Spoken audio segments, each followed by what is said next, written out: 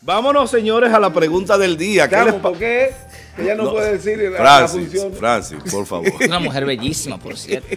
Señores. ¿Considera usted que las autoridades de la provincia de Duarte son responsables de la convocatoria a huelga en San Francisco de Macorís por supuestos incumplimientos a acuerdos a grupos populares? Háganos el feedback 829-451-3381, nuestra vía de comunicación a través de la red social WhatsApp. Ahí en el camino le leeremos su comentario o, le leeremos su respuesta a la pregunta. ¿Considera usted que las autoridades de esta provincia son responsables de la convocatoria huelga aquí en San Francisco de Macorís por supuestos incumplimientos de acuerdo con grupos populares? Muy bien. Autoridades piden una tregua a convocante a huelga por festividades navideñas ratifican paro en San Francisco de Macorís. ¿Y qué pasó? Hicieron como una marcha ayer. pese a participar en una reunión con las principales autoridades de la provincia de Duarte, así como representantes del sector comercio y el director de la Policía Nacional Regional Noreste, los convocantes al movimiento huelgario para el próximo lunes 15 ratificaron la huelga. La gobernadora civil y provincial de Duarte, la señora Xiomara Cortés, dijo que solicitó una tregua ya que se acercan las festividades navideñas y aclaró que se han iniciado los trabajos de algunas de las obras dentro de, las, de los acuerdos establecidos en convocatorias huelgarias anteriores. En ese acercamiento, los dirigentes populares aseguraron que funcionarios del gobierno dijeron lo mismo que en ocasiones anteriores habían asegurado, y no hasta a la fecha no han cumplido con una, eh, no han cumplido. Con una caravana motorizada en horas de la tarde de ayer recorrieron las principales calles de esta ciudad como un preámbulo del movimiento huelgario. Vamos a ver las declaraciones de doña Xiomara Cortés y de José Mercado, así como las declaraciones de José María García. Vamos a ver, adelante producción. El colectivo ratifica el llamado huelga para este lunes. Segundo, que ratificamos la convocatoria a una caravana motorizada para hoy a las 5 de la tarde saliendo de la avenida Duarte con Libertad. Y en tercer lugar, que mañana a las 9 de la mañana el colectivo tiene un pleno de dirigentes en el sindicato de la construcción, donde entonces ya valorará todo lo que han planteado las autoridades, pero en sí nosotros queremos decir, y ya estamos en elemento de juicio, que no plantearon nada nuevo, sino que vinieron con la misma posición que vinieron el 27 de abril y que no cumplieron, que vinieron con la misma posición que plantearon en medio de la huelga del 14 de junio y que tampoco cumplieron y que hoy vienen a querer justificarse, planteando cosas que no vienen al caso y queriendo justificar una crisis que la han creado ellos, queriendo que los pobres caigan con la crisis económica mientras los legisladores siguen repartiéndose los cuartos del pueblo en el barrilito, mientras regalan el presupuesto a los artistas más ricos de este país. Bueno, mi posición es que ellos deben ponderar lo que nosotros le hemos dicho de que le hemos mencionado las obras que se han iniciado, las que se han hecho, que el pueblo lo tiene a la vista, todo lo que se ha hecho. No es que no se ha hecho nada, eh, le hemos pedido que por favor dieran una tregua por las navidades y al mismo tiempo de que el ministro de Obras Públicas se comprometió que en el mes de noviembre se iban a comenzar a faltar todos los barrios de, la de San Francisco de Macorís de la provincia de Duarte, que me he mantenido diciéndoselo a ustedes de la prensa, la cual ustedes también han sido testigos de los, los trabajos que se han hecho aquí en San Francisco de Macorís en la provincia, que nos den una tregua para que pase el mes de noviembre, como se comprometió el ministro de que iban a trabajar con todas las necesidades que el colectivo estaba solicitando. Le comunicaba previo a este encuentro que lo más importante es el diálogo. Nosotros como sector empresarial también estamos identificados con las peticiones que está haciendo el colectivo de nuestra zona. Porque si el gobierno sigue invirtiendo en esta zona, lo que llamamos al crecimiento y al avance, pero le decíamos que deben ponderar situaciones que están dando a nivel del mundo y a nivel de nuestra provincia de Duarte. quiero aclarar que no es José María. Yo dije José María porque aquí estaba, no sabía quién era que iban a presentar. Realmente a quien presentaron fue a Juan María, García. eh, utilizamos mal el nombre, así que disculpas a Juan María. García, exactamente, y le mandamos un abrazo desde acá, que si él no está viendo este programa, está perdido como dirigente empresarial, Yo comercial. estoy de acuerdo. No, no, pero Bien. Eh, este no será el programa que quizá más se ve. No, pero el que ve la tampoco, gente más ¿verdad? No, este es el que más- Pero el que va la- el que no, la este es el que más influye. Exacto. Eh, aquí no hay un programa más influyente que este. Yo no sé si hay otro. Carolina, adelante. No lo hay. chica. Pero sí pienso que es el que más se ve a, a esta hora. Sí. No, no, a esta hora sí, Por definitivamente. encima Me refiero a, a- Ah, a toda la... De lo nacional. Pero lo importante no es que se vea más, sino que sea más influyente. Mm, eh, realmente veo con mucha preocupación eh, que el lunes 15 de noviembre pues no se trabaja en San Francisco de Macorís.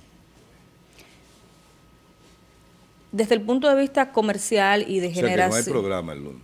claro que sí. Claro, claro. Desde el punto de vista Nosotros de la, Tenemos que seguir llevando la información a este pueblo. Anota los minutos, Cham. Desde el punto de vista de la desde el punto de vista de la escasa generación de recursos que se están dando en los comercios por la poca cantidad de dinero que hay en las calles, perder un día de trabajo es mucho. También es cierto que está la realidad del incumplimiento de las autoridades de ofrecer, porque ahí es que está el problema, o sea, de usted ofrecer, de garantizar, de dar fechas y de decirle a estos sectores y al pueblo de San Francisco de Macorís, porque va de la mano, eso no, se desliga.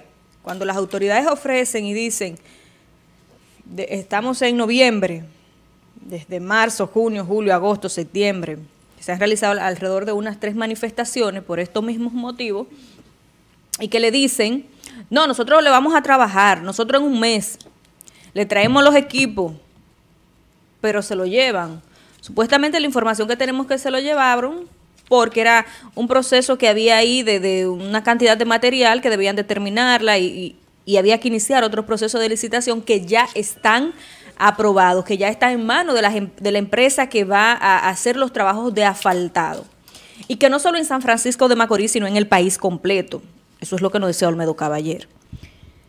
Y que tampoco estos procesos de asfaltado, de hacer así contenes, de poner en condiciones eh, óptimas las diferentes comunidades, no es por los procesos huelgarios. O sea, él les dijo a los grupos populares, le dijo a San Francisco de Macorís, el gobierno está trabajando porque tiene programado y tiene estos proyectos, no porque ustedes estén haciendo un llamado a huelga. Eso fue lo que le dijo. La realidad es que nosotros, hoy viernes, si ayer no se llegó a, un acuerdo cuando teníamos la entrevista del director del INDRI, el director nacional del INDRI, lo tenemos aquí en el programa, decía, nosotros tenemos una reunión hoy a las 10 de la mañana con los eh, representantes eh, del, del colectivo para buscar llegar a un acuerdo. ¿Qué pasó? Que no pudieron eh, llegar a un punto de que no se realice este paro el lunes. Sería interesante saber, vimos ahí a la gobernadora decir que le den un chance, que le den tregua. Al parecer esto no, eh, no hizo, que los del, no, no los convenció, entendieron que no era válido, que no era suficiente lo que le dijeron los representantes del gobierno en esa reunión el día de ayer. Dos cosas. Tenemos la realidad del incumplimiento de las autoridades, de las fechas. Ellos dan, ellos dan la información de que ese material se terminó y que está en un proceso de licitación y que son procesos burocráticos que no se dan en un mes o de la noche a la mañana o en dos días. Tenemos la otra realidad a nivel comercial, a nivel de la gente, a nivel de seguridad. Los procesos eh, de salud que se están viviendo con esta, eh, esto- con esta, eh, estos procesos gripales que se está viviendo en la República Dominicana, señores, que andan unas gripes. Y menciono esto y lo conecto, sin mencionar el COVID. Imagínense el que le prendan una goma con un proceso, por ejemplo, ahí en la Bienvenido, que hay gente que está contagiada de COVID, que yo conozco, que le prendan dos gomas en el frente. ¿A dónde llega? Entonces A la son, esquina. no, llegará a, a Huiza o a un centro de salud. Entonces cierro diciendo que todas estas cosas deben de preocuparnos de manera eh, muy importante. Lamentablemente la huelga va, dijo el colectivo, y nosotros aquí ver Bien. qué pasa y que no hayan muertes ni negocios que sean eh, asaltados o robados en las. Gracias, eh, Carolina. Yerjan. Miren, eh, atención a la gente del colectivo. Plantea Juan Jacobo Rosó en el contrato social que la guerra no da ningún derecho que no sea necesario a sus fines. Es decir, que todo aquello que se va a hacer tiene que, tiene que tener un resultado positivo, en este caso para la sociedad. Ciertamente, de acuerdo a la postura de ellos, ha habido un incumplimiento de parte de las autoridades. No obstante a eso, yo he escuchado a la gobernadora ahora mismo decir ahí que por favor le den una tregua. Entonces, la, eh, eh, ese, ese pedido que hace la gobernadora en la forma en la que lo hace, le dice a ustedes que está en la intención de que se resuelva, pero que no se ha podido resolver. Por tanto, le aplico a ustedes aquí aquello de que la guerra no da el derecho que no sea necesario sus fines. Si la gobernadora y las autoridades que vinieron a reunirse con ustedes ayer, ¿verdad? Eh, vinieron con la intención de, de escucharlos y de pedirle a ustedes una prórroga eh, un compás de espera, entonces evidentemente que la huelga del lunes no es necesaria a sus fines. No sé si me doy a entender. Sí. Evidentemente que ante esa postura de las autoridades, la huelga del lunes no es necesaria a sus fines. Entonces, ¿cuál es mi recomendación? Que ustedes en el día de hoy viernes le hagan un llamado a la sociedad dándole el compás de espera que se merecen las autoridades. Porque ciertamente eh, lo que dijo aquí el ingeniero Olmedo Caballer es cierto. Asfaltaron aquí unos cuantos sectores. Es cierto, INAPA está trabajando, por ejemplo, aquí en Pimentel, porque tampoco podemos centrarnos solamente en San Francisco de Macorís. Yo estuve en Pimentel y palpé eh, con mis propios ojos naturalmente no puede ser con los ojos de otro, pero con mis propios ojos, naturalmente, el trabajo que se está haciendo en Pimentel. Y dije que bueno. Entonces, si se está trabajando, independientemente de que va a haber eh, un atraso u otro, y las autoridades le están pidiendo a ustedes, en esa manera que lo dijo la gobernadora, que la felicito por eso, dijo, por favor, por favor, yo le pido por favor un compás de espera. Entonces, eso le quita a usted de la fuerza allá arriba y le quite el apoyo popular porque esta señora le está pidiendo a ustedes, señores, por favor, denme un chance, que es que no hemos podido resolver. Entonces, ¿qué, ¿a qué llama eh, en este caso eh, la prudencia? Parar esa huelga. Porque las autoridades le están pidiendo a ustedes un compás de espera. Es decir, los están escuchando. los están escuchando y eso es importante. De manera que yo les eh, sugiero a aquellos miembros del Movimiento Popular que la huelga del lunes, eh, paren eso y denle el compás de espera que están pidiendo las autoridades. Y entonces denle un plazo para que inicien, qué sé yo, enero, porque ahora se hace difícil con lo de diciembre. Y entonces si no cumplen, ya ni siquiera habrá que pedir, ¿verdad?, eh, eh, el, apoyo popular porque el propio pueblo les va a dar a ustedes la razón en una segunda ocasión. Es decir, que la huelga no es necesaria a sus fines. Bien, gracias, Francis. Sí, ya en una ocasión me referí a la actitud cerrada e imprudente de los convocantes cuando se les llama a conversar y a poner los puntos de vista en acuerdo, sin dejar de reconocer los atrasos de cumplimiento. Ahora, es este mismo pueblo el que ha exigido el cambio, ha exigido la transparencia, y de algo estoy seguro, le está costando más tiempo en todo para ser transparente, porque hay que hacer levantamientos. Luego de esos levantamientos hay que ponerlo a prueba técnica, y esas pruebas técnicas tienen que pasar todo una especie de, de recorrido de transparentización de lo que se pretende hacer a futuro mediante la inversión pública. Quizás ha habido una falta de explicación y de del Estado a fin de explicar que nuestras esperas pudieran tener tarde o temprano la verdadera solución. Pero ciertamente vuelve a repetirse lo del pasado, cuando yo critiqué que era una imprudencia, una falta de respeto a la autoridad que, se, que llega donde ellos, al lugar donde ellos les convocaron, y en la cara le decían irresponsable y todo lo que les venía en gana, solamente individuos que aparecieron en ese momento haciéndose pasar por representantes de este pueblo. A mí no me representan, lo he repetido y lo sigo repitiendo. Ya en la posición de la autoridad vuelven a irrespetar, porque el escenario planteado era de diálogo, pero no se puede ir en actitud de chisme, no se puede ir en actitud cerrada, porque se va a ver estridente como se ve hoy nuestro amigo Miguel, estridente. ¿Por qué Y siempre cier- menciona a Miguel? Eh, ¿Se ve estridente en qué sentido? Te hago No, la no pregunta es Miguel, para saber. Mercado. ¿O Felipe? No, no, a Miguel, yo no vi a Felipe ahí. ¿Pero Miguel cuál? ¿El, ma- el, el profesor? El, que vino aquí. El que mercado, está, es mercado. Ojalá pudiera Pero él llamarlo no se llama de Miguel ellos. Mercado. ah, porque yo fui. Ah, yo eh, no sé si es Miguel, sé que es mercado. Sí, es Mercado, pero es Miguel Mercado, se llama creo. Miguel. Aclara Mercado para que no se confunda con, Con Miguel el maestro, el profesor. Ok. Ah, Como bueno. pertenecen también de Me alguna gustaría forma. saber cuál es el nombre de Mercado, entonces, porque voy a... De todas maneras, lo que creo es que ya llegó el momento en que la autoridad tiene la responsabilidad de resguardar el orden público, es lo primero.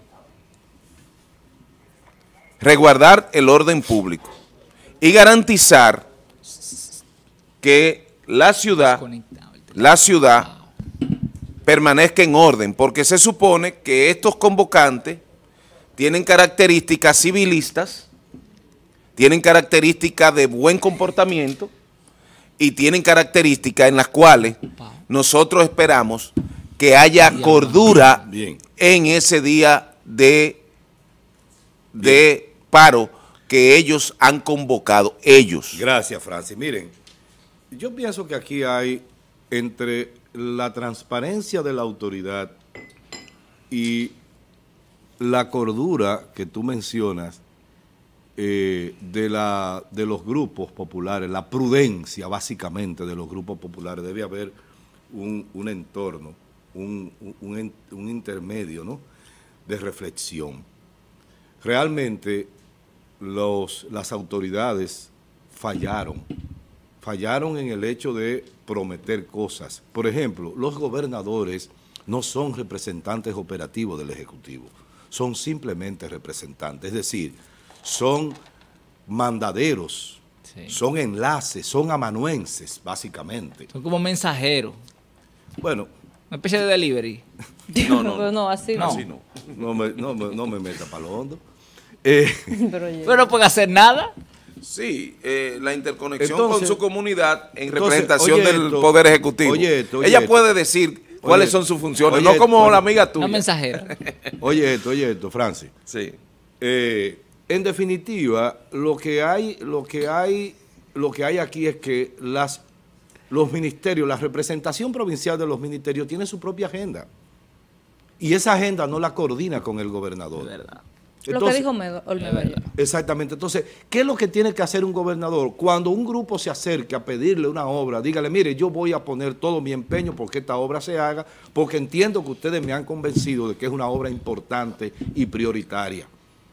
Ahora, tú no le puedes prometer, vamos a comenzar mañana, porque tú no tienes condiciones para comenzar mañana. Y creo que aquí Exacto. lo que se ha sido es un poco, se ha ido más allá de la responsabilidad que como funcionario tiene la gobernación, el... el- el- Estuvo el alcalde, el senador. el, el alcalde, el senador. El senador no está para hacer obras. El ministro de alcalde tampoco también. tiene condiciones, ni siquiera presupuesto para hacer obras de esa magnitud. Entonces lo que debieron haber hecho es eso. Pero se pusieron a ponerle plazo, se pusieron a firmar documentos y eso lógicamente crea otra situación.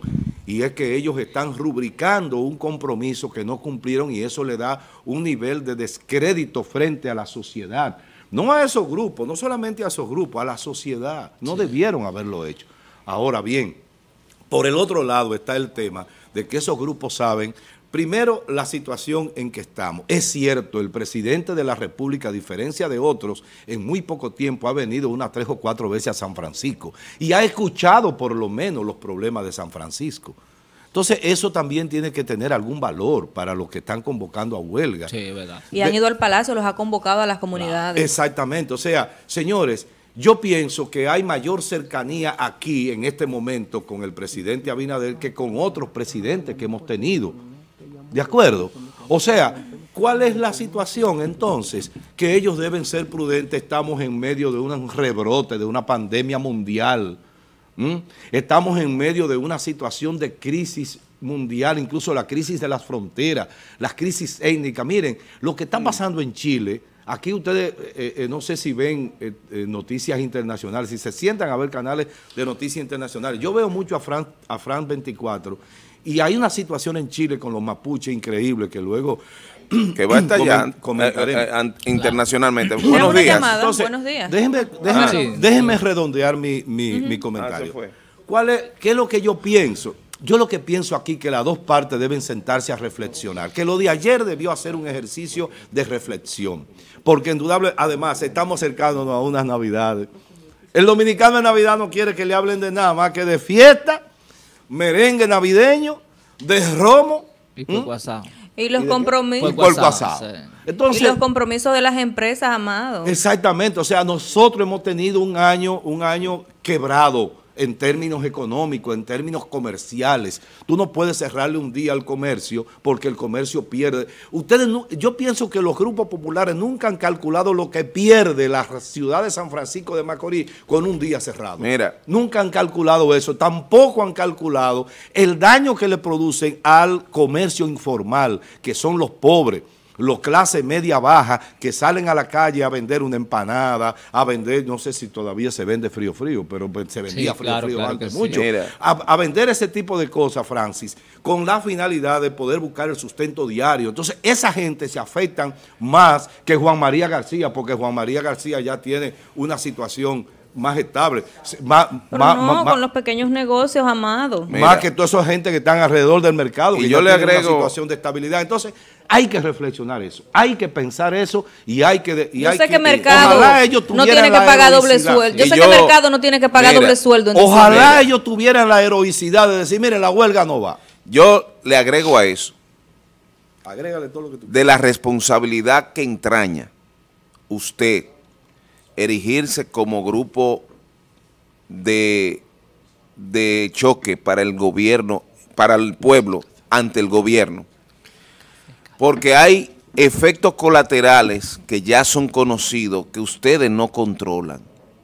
¿Cómo cuáles? ¿Cómo cuáles? Y aunque ustedes hemos tenido historia de que los movimientos populares nunca son responsables de lo que caigan, Para eso está la autoridad, eh, la Entonces- policía para mantener el orden, Francis. entonces No. ahí se le complica la, la existencia a la imagen que ustedes quieren proyectar como líderes populares. Esa responsabilidad es de ustedes. No, es, de es la tiempo. ¿eh? Es de la policía No, no, no, espérate, me refiero. Ey. Quien provoca el paro es la organización con un ob- objetivo que se supone es conforme a la ley, pero Y ellos no controlan los Y la autoridad tiene que controlar el, Vamos a una llamada. una cosa, Amado, permíteme. Pero dale, dale, Sí, que tenemos una llamada. dale. dando, permíteme. Dale una Espérate. llamada. Hay una parte, perdón, hay una parte que es la que yo quiero significar. Amado ayer decía que muchos de esos movimientos que se hacen en barrio tienen otros matices porque en el fondo es para transportar cosas. Ahora, aquí aprovechan ese movimiento y hay lugar, hay sectores que trascienden por su estridencia de actuación haciendo desórdenes que me imagino ni mercado ni el otro Bien, vamos a la están llamada. pendientes de que eso suceda. Adelante, buenos Pero días. Ah, la se llamada. fue, se fue. Con relación a eso, yo acabo hace un rato de decir, miren, y, y si nos imaginamos que estamos en una guerra, de un lado los convocantes a la huelga y de otro lado la autoridad. La autoridad ahora mismo acaba de levantar bandera blanca. ¿Cómo tú le vas a tirar? ¿Qué es lo que quiere, hace rato lo que quise decir? Si la autoridad acaba de levantar el bandera blanca, ¿verdad? Entonces se supone que tú no puedes tirarle porque acaba de, de- de- de- rendirse, le acaba de pedir un compás de espera. Y oigan que, de qué forma se lo dijo, por favor, la gobernadora. Entonces, Ahí está la ¿Por llamada. qué no hacerle caso? Adelante, buenos días. Buen día, buen día, jóvenes. José Amado, Francis, de allá en Carolina. Saludos. Gracias, adelante. Ahorita cuando ustedes estaban, o están hablando de temas de sobre el paro, hay dos dirigentes. Uno fue el que formó lo que se llama ahora la nueva Federación de Juntas de Vecinos, que se llama Miguel Martínez, que es el profesor, y el otro José Mercado, que es el vocero del colectivo de organizaciones populares. Ocurre lo siguiente, José Martínez fue la misma persona que fueron al Palacio a reunirse con el presidente hace unos meses, que son miembros y dirigentes del PRM.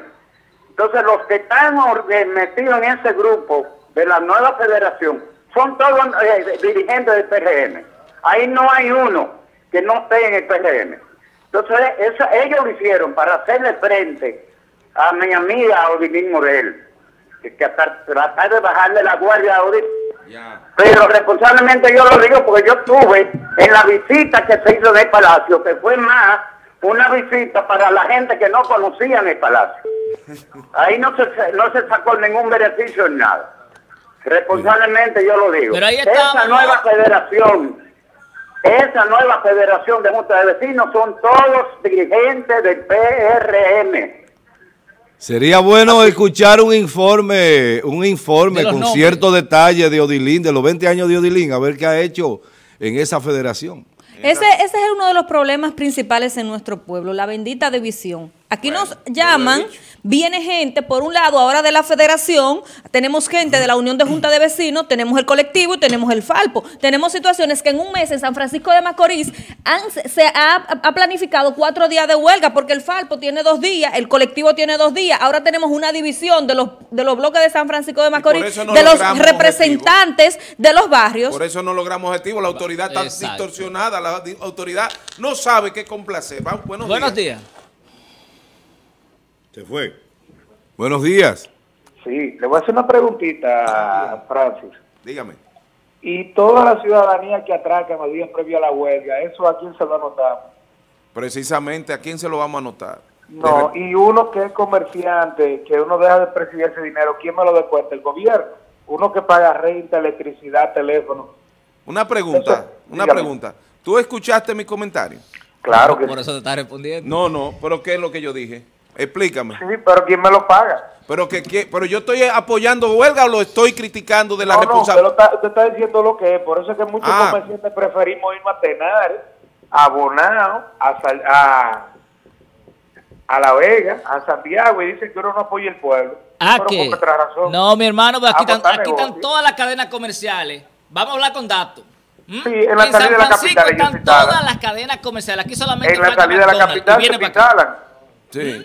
Aquí No falta... en Rebolchivo. No, no, se no, pero en la aquí en San libertad. Francisco, dejémonos de No, cosas. de hecho tú tienes razón porque eh, ¿eh? nosotros estamos criticando No, no, que no, hemos no. convertido a No, San Francisco de Macorís pueblo, ¿no? en un ícono del desorden. Y lo que queremos es un ícono del desarrollo y siendo nosotros la provincia más próspera en el sentido per cápita, Ah. aquí no hay eh, pobreza extrema, Oh. pero, pero quizás Pero no somos los revoltosos. Si la gente se va de aquí, las empresas Sí. se van de aquí. O no- o Mencióname te- una sola empresa que se haya ido de o aquí. tienen miedo. Una sola. Eh, Vamos a la pregunta. Kentucky, Kentucky se fue de aquí. porque Vamos a la pregunta del día. Hicieron un, un Kentucky- trabajo de mercado No, y no estaban Kentucky se fue porque no pudo con, lo- con los chinos. Los chinos... Exacto, los No, chinos. chinos- pero te los dice, chinos le freían un te que hay empresas que te están Pero emigrando. Vamos a la pregunta del día. Independientemente de acá. fue. Pero ¿cuántos Antes años de la, tiene que se antes, fue? Pero antes se de la pregunta del día, vamos a la llamada. Adelante. Gracias, gracias, hijo de Dios. Bendiciones de lo alto. Muy buenos días. Mi nombre es Juan Alvarado desde Instante Hermanas Mirabal. Juan, ¿te nombraron ya? Juan estaba Eh, perdido. no, dígame, Yerian. ¿Te nombraron ya? En, en un buen No, puesto? no, no, pero hay esperanza. Eso es lo último que se pierde. Pero Ojalá, Angeli ojalá que, no es, que no sea verde y se le haya subido los gustos. No, no, Moreno ganando tranquilo, no me tire 125. piedra, que fue, yo voy a preparar. Tú sabes que desde ayer tiene, tan, tan sometidos a disciplina desde ayer los PRMistas. Bueno, adelante, Eh, no, Juan. pues, adelante, Juan. Yo, yo soy un guerrero de Dios, yo soy un, un guerrero de yo- Dios conmigo. adelante, Eh, Juan. mire, hermano, mira, Jesús dijo en la cruz, Ay, ay, ay, ay. Padre, perdónalo, Que no porque saben no lo que saben lo que hacen. Pero ¿cómo puede Dios perdonar a los que saben lo que hacen. Y el hombre se desarrolla por evolución o por revolución. Y los conflictos en el ser humano no se resuelven solo por evolución, también por revolución. Pero esa huelga déjela para el otro año, porque es lo que dice Francia y el combo que está ahí. Los perjudicados somos los francos macorizanos, la, la clase, los, los chiquitos, los lo, lo come, lo come arroz, esos somos los perjudicados. Juan Porque, Alvarado. ¿Qué pasa? Por ejemplo, este lunes hay una huelga. Esa gente cierra los negocios y se van a agua a Samaná y se comen un pescado. Entonces, el que está vendiendo chulito, como dice Amado, el que está vendiendo frío, frío, eh, y, e, e incluso ahí mismo aprovecha la mayoría de delincuentitos y se pone a atracar y cuando viene a ver mata a un infeliz, a uno mismo que anda en el medio, que anda, ¿sabes? Bueno. Entonces vamos a dejar eso para, para eh, ahí estamos en pandemia. Señores, no le quito más tiempo y tiene un Gracias, Juan. programazo. Muchas Ah, gracias. Yo le preguntar Vamos a la Juan. pregunta del día. Vamos a la pregunta del día. ¿Considera usted que las autoridades de la provincia de Duarte son responsables de la convocatoria a huelga en San Francisco de Macorís por supuestos incumplimientos de acuerdo con grupos populares?